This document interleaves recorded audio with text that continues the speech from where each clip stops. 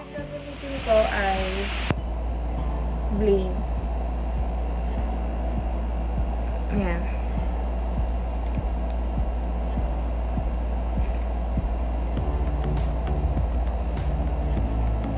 Una, lalagyan ko muna siya ng lotion. Ganda, ganda yung ginagawa ko. Lagyan ko muna siya ng lotion.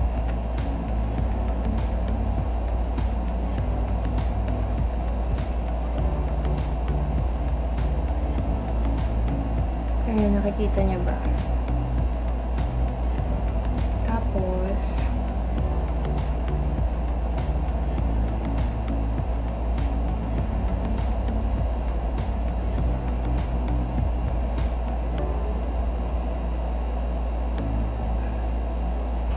tanggalin ko dito sa baba.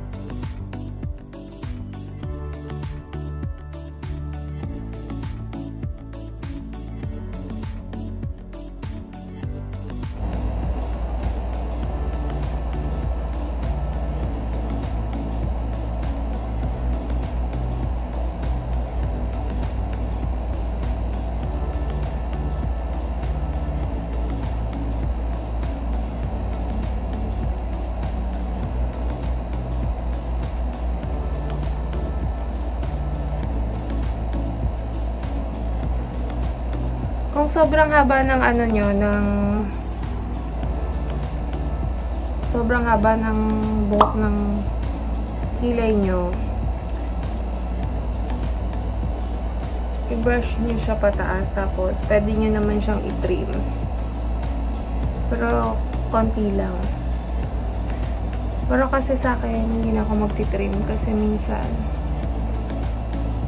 pag ganyan ako magkilay, yung tapos sa kabila naman. Ayan na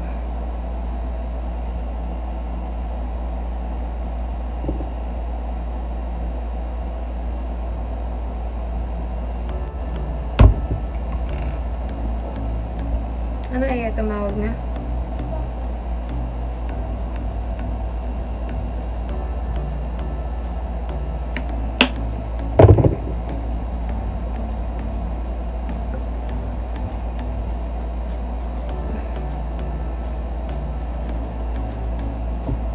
Dito naman tayo sa kabila.